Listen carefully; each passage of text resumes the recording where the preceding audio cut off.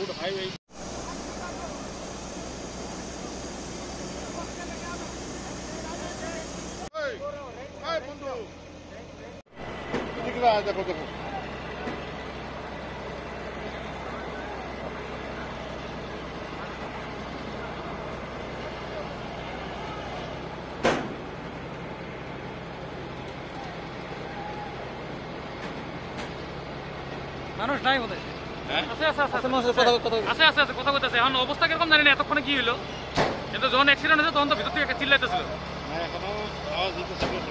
মাত্র light জ্বলেছে headlight জ্বলেছে মাত্র সামান্য শেষ কিচ্ছু নাই। পৃথক ফচি থকাৰ সম্ভাৱনা প্ৰকাশ কৰিছে আৰক্ষী আৰু কেনেকৈ ঘৰত লাগিছে। চিলিণ্ডাৰ আছিল চিলিণ্ডাৰ ওলাই আছিল চিলিণ্ডাৰটো কোনোমতে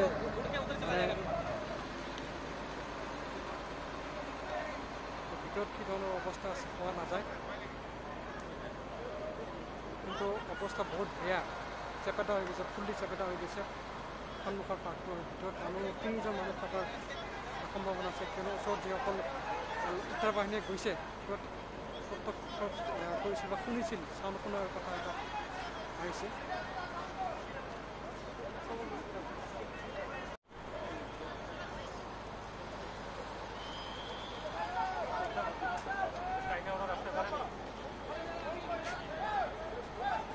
চবতকৈ ডাঙৰ কথা যে ভিতৰত যে মানুহ যদি আছে তেতিয়াহ'লে কি ধৰণৰ অৱস্থাত থাকিব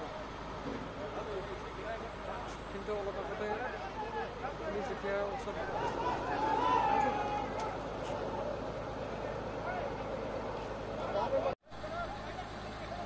গাড়ীখন তলৰ পৰা এনেকৈ কেৰেং দি উঠাই ল'লে তাৰপিছত এতিয়াহে ভিতৰত মানুহ আছে নেকি এইটো সিহঁত লক্ষ্য কৰি আছে ভিতৰত ইনভেষ্টিগেট কৰি আছে যে মানুহ আছে নেকি। কিন্তু মানুহ থকাৰ সম্ভাৱনা আছে। পুলিচে ওচৰত গৈছিল যেতিয়া ৰেস্কিউ কৰাৰ কাৰণে তেতিয়া চাউণ্ড পাইছিল। ভিতৰত মানুহ থকাৰ চাউণ্ড পাইছিল। আৰু এতিয়ালৈকে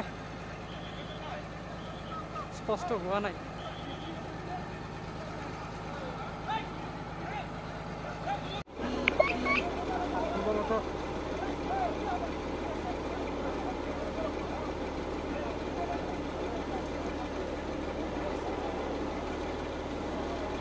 ভিতৰত সোমাই আছে। পুলিচ পুলিচৰ কিছুমান ষ্টাফে ভিতৰত চাই আছে যে আছেনে নাই আচলতে কিন্তু এতিয়ালৈকে কোনো ধৰণৰ সম্পৰ্ক পোৱা নাই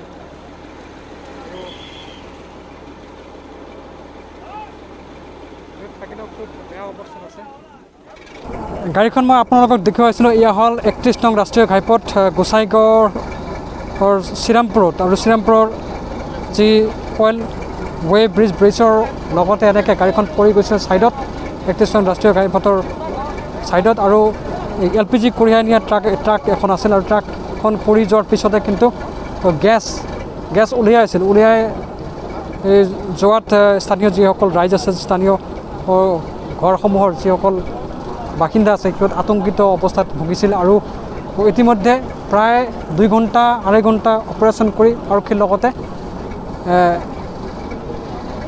ফায়াৰ ব্ৰিগেডৰ টীম ইতি- ইতিমধ্যে আহি উপস্থিত হৈছে আৰু ভিতৰত হয়তো মানুহ আছে তিনিজন মানুহ থকাৰ আশংকা প্ৰকাশ কৰিছে কিন্তু যদি থাকে তেতিয়াহ'লে বহুত বেয়া অৱস্থাত ভিতৰত মানুহখিনি আছে আৰু সমস্ত যি প্ৰশাসনৰ লগতে ৰেস্কিউ টীম ইতিমধ্যে ৰেডি আছে। কিন্তু কথা হৈছে ভিতৰৰ মানুহখিনিক এতিয়ালৈকে পুলিচৰ কোনো ধৰণৰ ব্যৱস্থা সুব্যৱস্থা কৰিবলৈ সক্ষম হোৱা নাই আৰু লগতে উদ্ধাৰ বাহিনীয়ে।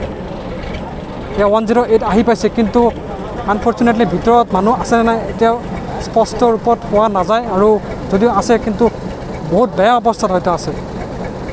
আৰু এনেকৈ চেষ্টা চলাই আছে কিন্তু চবতকৈ ডাঙৰ কথা হৈছে যিহেতু চেপেটা হৈ গৈছে।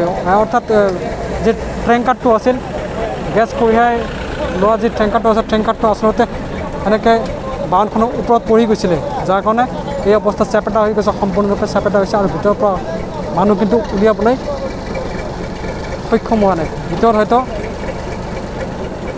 বহুত বেয়া অৱস্থাত ইঞ্জুৰি অৱস্থাত আছে কিন্তু চাউণ্ড কিন্তু অলপ আগতে আমি চাউণ্ড শুনা পাইছিলোঁ। আৰু কেৰেং দি তলৰ পৰা উঠাই গাড়ীখন এনেকৈ নেশ্যনেল হাইৱেৰ ওপৰত উঠাইছে আৰু এতিয়া বৰ্তমান তাত সকলোৱে চেষ্টাত আছে যে কি ধৰণে ভিতৰৰ মানুহখিনিক উদ্ধাৰ কৰা যায় ভিতৰৰ মানুহ বাচি থকাৰ বাচি ভিতৰত শব্দ পাইছে মানুহ থকাৰ শব্দ পাইছে মানুহখিনি যদি আছে তেতিয়াহ'লে সুস্থ বা জীৱিত অৱস্থা যাতে ভিতৰৰ পৰা উদ্ধাৰ কৰিব পাৰে তাৰে প্ৰচেষ্টা চলাইছে স্থানীয় আৰক্ষীৰ লগতে ৰেস্কিউ টীম।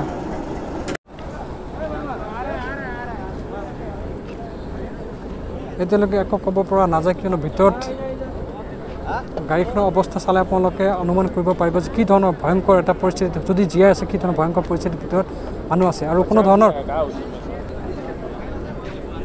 কোনো বুদ্ধিয়ে কামত লগা নাই কিয়নো হাতেদি সম্ভৱ নহয় এইখন গাড়ী যিহেতুকে ট'টেলি চেপেটা হৈ গৈছে। আৰু নেশ্যনেল হাইৱে সম্পূৰ্ণৰূপে বন্ধ কৰি দিছে কোনো ধৰণৰ যাতায়াত নাই কোনো বাহনৰ বৰ্তমানলৈকে যাতায়াত নাই আৰু এনেকৈ বাহৰ সহায়ত টানি গাড়ীখনৰ বডি এনেকৈ টানি খোলাৰ চেষ্টা চলাইছে। কিন্তু সম্ভৱতঃ এই প্ৰচেষ্টা সফল নহ'ব। আৰু মোটামুটিকৈ দুই আঢ়ৈ ঘণ্টা সময় হৈ গ'ল। তথাপিতো কোনো ধৰণৰ ভিতৰৰ পৰা এজন মানুহক কিন্তু উলিয়াবলৈ সক্ষম হোৱা নাই। আৰু সন্মুখত মই দেখোন এই চব ইমাৰ্জেঞ্চি সেৱা আছে যদিও কিন্তু যদি ভিতৰৰ পৰা মানুহ উলিয়াই এই আনিবলৈ সক্ষম নহয় তেতিয়াহ'লে কি ধৰণে লৈ যাব হস্পিটেলত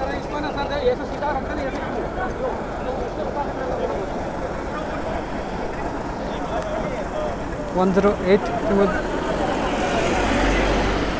ৰাস্তাৰ নিচত থকা অৱস্থাতে কিন্তু একচুৱেলি মানুহখিনিক উদ্ধাৰ কৰিব পাৰিলে হয় কিন্তু তাত ডাঙৰ এটা ৰিস্কৰ ইছ্যু আহি পৰিছিল কিয়নো টেংকি যিটো টেংকি লিক হৈছিলে আৰু টেংকি লিক হোৱাৰ কাৰণে যিহেতু গাড়ী বেটাৰী আছে বেটাৰীৰ লগতে আপোনাৰ লাইট আছে গতিকে তাত কোনো ধৰণৰ অঘটন যাতে নঘটে কোনো ফায়াৰৰ যদি অকণমান ফায়াৰৰ চেম্পল পালে কিন্তু বিস্ফোৰণ ডাঙৰ এটা বিস্ফোৰণ হৈ যাব পাৰিলে হয় যাৰ কাৰণে ৰেস্কিউ অপাৰেশ্যন টীমে ওপৰত উঠাই লৈ জে চি বি দি কেৰেং দি ওপৰত উঠাই লৈ তাৰপিছতে এই ধৰণে ভিতৰৰ মানুহখিনিক উদ্ধাৰ কৰাৰ কাৰণে চেষ্টা চলাইছে।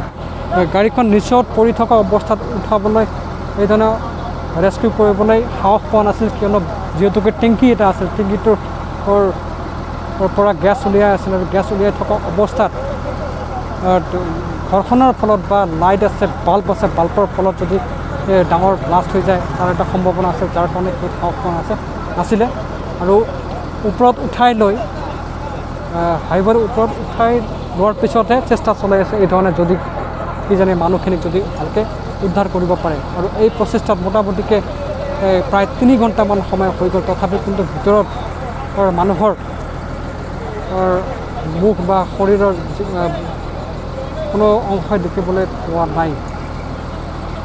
আৰু এইবাৰ জে চি বি এখন আহিছে। জে চি বি এখনৰ হতুৱাই হয়তো যিহেতু চেপেটা হৈছে। আৰু চেপেটা হোৱাৰ কাৰণে মানুহে বহুত সময়ৰ পৰা চেষ্টা কৰিছে। কিন্তু কাম হোৱা নাই যাৰ কাৰণে এইবোৰ জে চি বি লগাই হয়তো বডিটো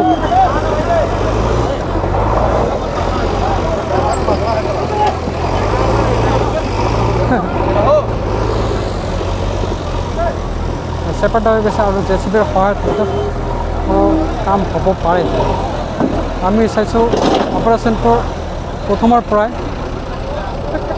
সৌৰভ গুপ্তা অৰ্থাৎ গোসাইগড় S D P Saurabh Gupta কিন্তু নিজে যেতিয়া গেছ উলিয়াই আছিল গেছ উলিয়াই থকা অৱস্থাতে তেওঁ নিজে গৈ তলৰ পৰা তলত মানে নিজে গৈ ভিতৰত চাইছে চোৱাৰ চেষ্টা কৰিছে যে ভিতৰত আচলতে মানুহ আছেনে নাই।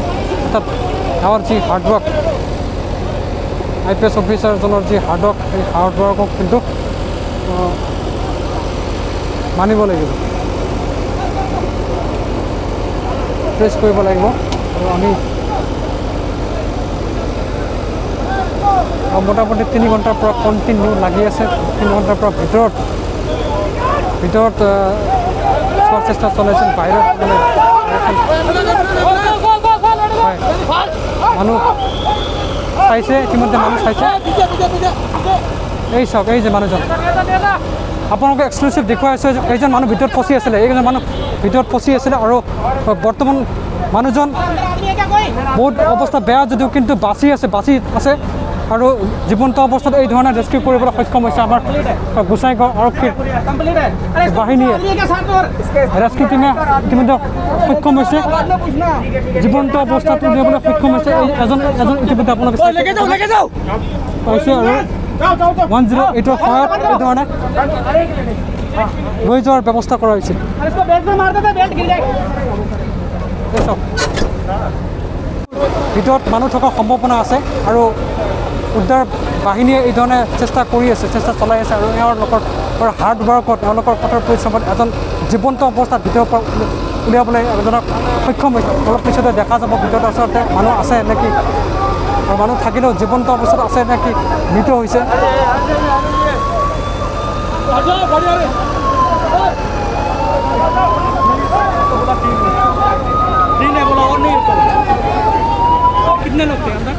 एक ही आदमी ड्रा- ड्राइवर सिंगल आया था सिंगल था बहुत बोल रहा है कि अंदर तीन अरे हम लोग का साथ में वो आया हम लोग से आगे आया वो अच्छा हाँ जानते हो आप हाँ हमारा कहाँ घर का है ये आजमगढ़ का है आजमगढ़ का नाम पता है सोनू पांडे अकेले थे अंदर हाँ। अकेले थे सोनू पांडे नाम है মানুহে ভিতৰত তিনিজন থকাৰ কথা কৈছে যদিও কিন্তু ৰেস্কিউ অপাৰেশ্যনত দেখা গ'ল যে ভিতৰত এজন আছিল বহুত ইনজিউৰ্ড অৱস্থাত আছিল সিহঁতৰ মোটামুটিকৈ তিনি চাৰে তিনি চাৰে তিনি ঘণ্টা অপাৰেশ্যন কণ্টিনিউ চলিছিল আৰু এই চাৰে তিনি ঘণ্টাৰ অপাৰেশ্যনৰ পিছত এজন বহুত ইনজুৰি অৱস্থাত ভিতৰত পোৱা গৈছে আৰু এই ইনজুৰি ইনজুৰ্ড ড্ৰাইভাৰজনক অলপতে এম্বুলেঞ্চ দি এশ আঠ এম্বুলেঞ্চ দি প্ৰেৰণ কৰা হৈছে। উন্নত চিকিৎসাৰ কাৰণে কোকৰাঝাৰ হস্পিটেললৈ আৰু মানিব লাগিব। গোসাইগাঁও প্ৰশাসনৰ লগতে যি এই ৰেস্কিউ টিম ৰেস্কিউ টিম আহি ইতিমধ্যে যি অপাৰেশ্যনত লিপ্ত হৈছিলে সিহঁতক মানিব লাগিব কাৰণ সিহঁতৰ আক্ৰান্ত চেষ্টাৰ ফলত কিন্তু লোকজনক এই ধৰণে জীৱন্ত অৱস্থাত ৰেস্কিউ কৰিবলৈ সক্ষম হৈছে। আৰু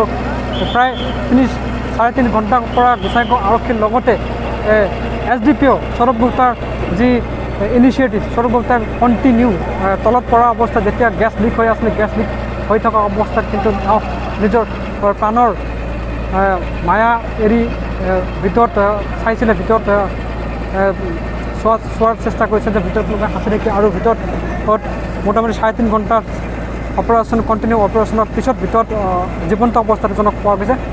আৰু আজমগড়ৰ লোকজন আজমগড়ত থকা বুলি ইতিমধ্যে এজন লগৰীয়া চিনাক্তকৰণ কৰিছে।